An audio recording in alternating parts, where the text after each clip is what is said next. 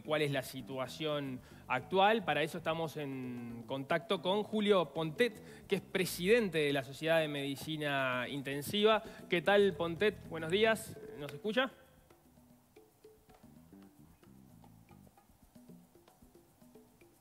¿Nos escucha Pontet? Nos escucha Paula. Paula, ¿vos nos escuchás? Sí, perfectamente. Está, sí. perfecto. Te hago las preguntas a vos, ¿te parece? Dale, perfecto, sí, ya a esta altura estamos todos entrenados. No, vamos a esperar si... si... Hola, buenos días. Ah. Sí, sí, los escucho bien. Ah, Ah, perfecto. Bueno, bárbaro. Eh, la, pregunta que dejábamos planteada, Pontet, era eh, ¿cuál es la situación actual eh, del sistema de, de CTI en el, en el país como para tener un, un diagnóstico general eh, en el inicio de la entrevista?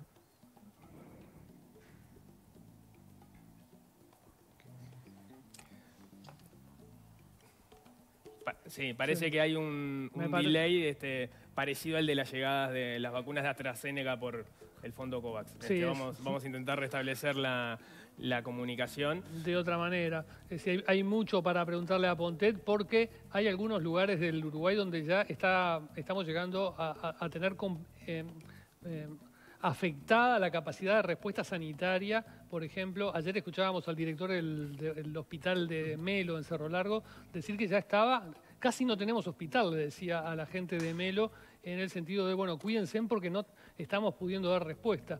y, y siempre lo que explicaba era esto.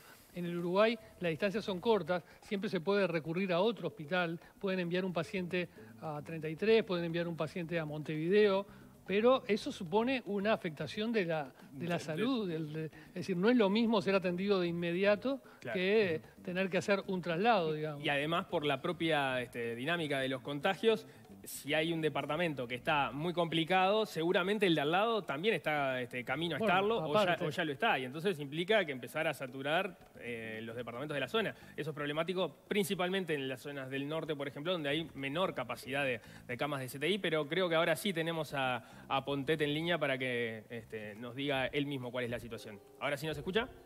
Sí, yo los, los escucho bien. Perfecto, Perfecto. perfecto. Eh, le preguntaba a Pontet cuál es la situación general en este momento en cuanto al, al sistema sanitario en, en cuidados intensivos. Bueno, eh, si vemos globalmente toda la pandemia, eh, estamos en el peor momento. Eh, eso no es una sensación subjetiva, sino que se trasunta de los números y de los hechos. Eh, ¿Cuál- ¿Cuáles son ver, esos números sí. que indican que estamos en el peor momento? El, el primero es que tenemos la máxima cantidad de, de pacientes en CTI en este momento. Eh, el otro es que tenemos en los últimos días el mayor número de ingresos a CTI en cada día, promedialmente. ¿Cuánta, cuánta gente está entrando cada día en promedio a CTI? Están entrando entre 10 y 20 pacientes por día, este, que es un nivel que, que no habíamos tenido, eh, digamos, de febrero para atrás. Eh, esto es una, una realidad de las últimas dos semanas, o dicho de otro modo, de marzo, ¿no? Eh, entre esos 10, 20 pacientes que ingresan por día había un dato este, bastante delicado, pero era obviamente no todos, no todos pueden salir. ¿Ustedes tienen estimados de eh, cuánto, en qué porcentaje quienes ingresan al CTI están logrando superar la enfermedad? Sí, la, mortalidad global de, de los de los CTI es- está en el 35 o 34%. A grosso modo, dos tercios superan la enfermedad. Es- esa, esa mortalidad global eh, vinculada estrictamente al COVID, ¿no? no es para quienes ingresan al CTI en general por cualquier otro tipo de, de afección. No, la mortalidad general en CTI es más baja, eh, anda en el torno de 20%. Ahora, Pero de los que ingresan por COVID específicamente a CTI es, es esto que decíamos antes, ¿no? esa, esas, ese, ese porcentaje de, de gente que fallece ingresando por COVID al CTI, que usted decía es, es como un tercio más o menos, eh, ha ido mejorando, porque en algún momento se acercaba a la mitad. Es- Sí. ¿Esa mejora a qué se debe? ¿A, a que cambió, a- aprendimos a tratar mejor a los pacientes en el CTI o la enfermedad no es exactamente igual? ¿Cuál es, cuál es la razón? Bueno, hay varios factores. El primero es antes, este, mejoraron las estrategias diagnósticas, eh, que son más precoces, digamos. Este, mejoramos la precocidad en el ingreso al CTI, eso es importante, porque fuimos aprendiendo de la enfermedad y seguramente mejoró el tratamiento, porque el tratamiento que hoy se hace eh, global, que se hace en la terapia intensiva, tanto de farmacológico como de, soporte respiratorio, no es el mismo que se hacía en el primer semestre del 2020, por compararlo claramente en tiempos separados, ¿no? Y, me quedé pensando en lo que usted decía de los ingresos por día, porque nosotros vamos viendo la cifra de internados en CTI que va subiendo, está subiendo en los últimos días, sí. y, nos quedamos con la idea de que esa es la cifra de, de, gente nueva que entró al CTI, pero no, hay que estar a los que fallecieron, que también son una que la mayoría habrán estado en CTI antes. Sí, bueno, ahí usted puede pensar el CTI como una caja con entradas y con salidas. Las entradas son los que precisan ingresar porque se están agravando, que habitualmente no es el primer día de tener la enfermedad, eso es un dato importante, sino que ya llevan varios días de enfermedad, entre, entre una y dos semanas, promedialmente ocho días, y una salida de esa caja que son por altas o por fallecidos. Eh, entonces, cuando nosotros damos, eh, y el SINAE da el número de pacientes que están en CTI, es una cuenta instantánea de cuántos hay en ese día. Que, que además es un número que cambia hora a hora, porque ahora ingresó un paciente, entonces ya es uno más, o fallece un paciente y es uno menos. Claro, y también y hay altas también, que me olvidé de ese, de ese del aspecto positivo, ¿no? Hay gente que sale por alta también. Sí, sí, claro, sí, sí, sí. Eh, la producción preparó un cuadro en base a, datos que, ustedes les proporcionaron a propósito de las camas activas que eh, tienen, están operativas en, CTI, lo tenemos por allí, a ver si, lo podemos ver. En este momento, recordemos, tenemos unas, según el último informe de, del SINAE, habría en el entorno, más allá de que esto se actualiza hora a hora, eh, unas 135 personas en CTI por COVID. El, porcentaje de ocupación por COVID a nivel general en este momento, eh, ¿de, cuánto es, ¿de cuánto es? Si cuenta el porcentaje respecto al número total de camas, este, andaba con 17-18%, ¿no? Eh, o sea, es mayor de 15, eh, que es el concepto de que ya es un rango elevado. 17, 17%. Esto no es igual de todos modos ni parejo en, en, todos los departamentos, ¿no? De hecho, el, el GACH en su momento, el 7 de febrero, había presentado en, en, uno de sus informes una especie de cuadro para, para evaluar la situación. Allí entendía que por encima del 35% de camas con, ocupadas por casos de, de COVID era estar en zona roja por lo menos por los datos que, conozco, sé que Rivera era uno de los departamentos donde estaba en esa, en esa zona roja. ¿Qué, ¿Cuáles son los puntos donde hay más preocupación para ustedes? Sí, eh, bueno, ese es el, el principal problema real de que la, los datos globales que, se informan diariamente con, con el SINAE y que la SUMI informa, eh, son eh, necesariamente un promedio de todo el país y no refleja la realidad de algunas regiones, algunas regiones que están seriamente comprometidas, como es el noreste del país, eh, sobre todo con más intensidad Rivera, donde la mitad de los pacientes, un poco más de la mitad de los pacientes internados en CTI son por COVID. Entonces ahí estamos hablando del 50% y no de ese porcentaje aparentemente bajo este, que, hay a nivel de todo el país. Eh, igual son porcentajes que estamos hablando con respecto al total de camas, ¿no? Si hablamos del total de pacientes, estamos hablando de prácticamente un cuarto de los pacientes este, en el CTI están, están internados por COVID. Mm. Pontet, eh, hablábamos puntualmente de la situación en Rivera, pero en, caso que se, que se complicara en otros departamentos, ¿qué es lo que sucede cuando se completa? Eh, sí, le, está haciendo una pregunta a nuestra compañera que, no, la escucha usted. No, la escucho, no la escucho bien. Disculpa. No hay problema. Bueno, creo, creo que la pregunta de Paula, y a ver, corregime Paula, porque nosotros sí te escuchamos, es ¿qué pasa cuando eh, se satura los ETI en determinado departamento? ¿Cómo se procede en esos casos para darle atención a las personas que necesitan el ingreso?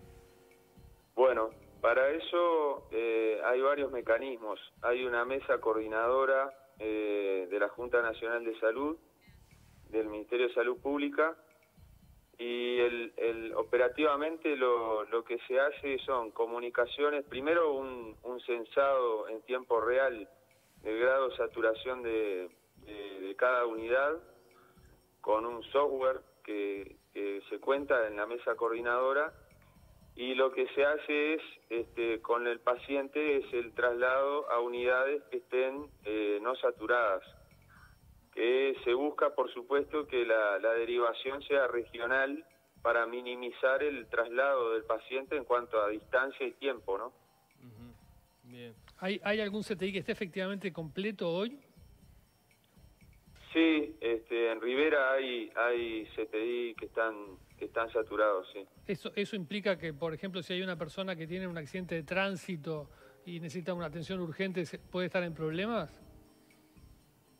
O sea, en problemas de ser asistido no, porque eso, la, asistencia en primer lugar va a ser en el departamento, por ejemplo, en el ejemplo concreto que usted dice, va a ser en el departamento de emergencia, eventualmente bloque quirúrgico, y ya se le puede coordinar sin perder tiempo el traslado a un CTI donde lo reciba.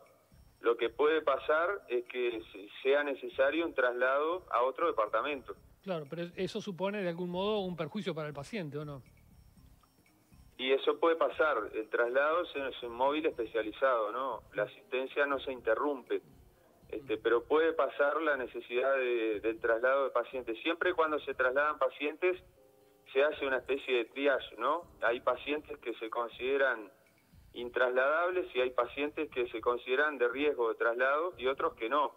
Y se intenta trasladar los que tienen bajo riesgo para, para no deteriorar la, el estado del paciente, ¿no? Claro, pero estamos llegando a un punto en el cual no, queríamos llegar y, no, no, quiero ser alarmista, pero eh, es un claro signo de que en algunos lugares se prendió la luz roja, ¿no?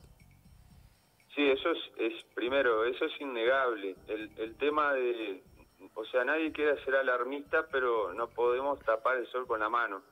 Hay una, hay una realidad, es que de acuerdo al caso total de positivos, lo único esperable, por lo menos esta semana, y por lo que le decía de la biología de la enfermedad, que genera en algún, en un porcentaje de pacientes, genera eh, deterioro a varios días después de que se detectó el positivo, eh, lo esperable esta semana es que las cifras sigan eh, de mal en peor, porque si ayer tuvimos un pico de casos activos o antes de ayer, hay, un porcentaje de esos pacientes, un poco más de 1%, que van a estar necesitando CTI dentro de 8 o 10 días.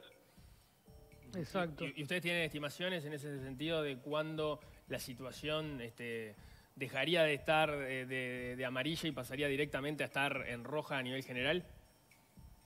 Es muy difícil ahora hacer proyecciones numéricas porque a diferencia del primer pico que estuvo un comportamiento prácticamente lineal para CTI, eh, ahora el comportamiento de estas eh, más de poco más de dos semanas no ha sido lineal. Ha sido peor, ha sido más hacia una cierta eh, comportamiento exponencial. Entonces, hacer predicciones se hace mucho más complicado y además porque es poco tiempo, ¿no? Pontet, ustedes están en el lugar más duro de la batalla, es decir, los intensivistas son los que están viendo fallecer mucha gente todos los días, están viendo eh, eh, ese, eso que usted decía, ese flujo, esa caja en las cuales algunos salen porque por suerte se recuperaron, pero fallecen muchos pacientes todos los días y siguen entrando a un ritmo cada vez más importante.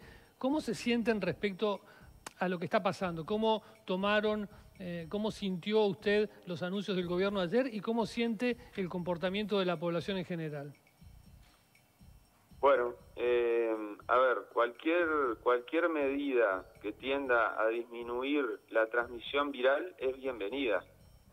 Eh, después está la discusión que, que se debe trasladar más al ámbito político de si las medidas son suficientes o no, pero los cambios que se generen eh, para disminuir la, la, posibilidad de que el virus se traslade, se transmita de persona a persona, siempre son bienvenidas. porque había que hacer cambios y hay que hacer cambios este, para que esta realidad no se, no se mantenga en, en, una curva de crecimiento. ¿Y el comportamiento de la población? Y bueno, eh, eso, eh, a ver, es, es lo que podemos evaluar son percepciones subjetivas, ¿no? Parece que no tenemos el mismo comportamiento que meses atrás eh, y parece que nos estamos cuidando menos, pero esas son percepciones subjetivas, ¿no? Eh, Ponte, en este momento, obviamente las expectativas están puestas en, los efectos que tenga la campaña de, vacunación, que, bueno, va a llevar unos meses igual en, hacer efecto, eh, pero hay otra línea de investigación que, sigue abierta, que, tiene que ver con, buscar otro tipo de este, soluciones farmacológicas al, al, problema. Eh, en, los corticoides dieron cierto resultado. Eh, se está hablando, por ejemplo, de los ensayos en, Israel a propósito de, un spray nasal que, está dando buenos resultados. ¿Usted qué expectativas tiene de que eh, aparezca también una solución de, este tipo que pueda ayudar a la vacuna y que quizás logre no prevenir la enfermedad, pero sí curarla, por lo menos en sus expresiones más graves? No, las expectativas farmacológicas que tenemos nosotros son pobres, porque son bajas, porque hay más de 25 drogas que se han ensayado eh, en un año. Esto ha sido un tema récord para la ciencia en el mundo, ¿no? Muchísimas drogas se han ensayado, se han publicado eh, miles de trabajos científicos con ensayos terapéuticos y sin embargo drogas que hayan demostrado disminuir la mortalidad eh, han sido eh, dos. Entonces, eh, no, no hay mucha expectativa en eso. Yo creo que las dos grandes expectativas que tenemos que tener es los comportamientos humanos para disminuir la transmisión viral y la vacuna. Bueno, no, nos quedamos, nos quedamos con eso, a cuidarse y, y a vacunarse. Exactamente, Bien. cuidarse y vacunarse. Julio Pontet, presidente de la Sociedad de Medicina Intensiva, muchas gracias por estos minutos en Desayunos Informados. Bueno, gracias a ustedes. Muchas Disculpen los problemas de conectividad. Por favor, gracias. Hasta luego. Nosotros vamos a ir, eh, bueno,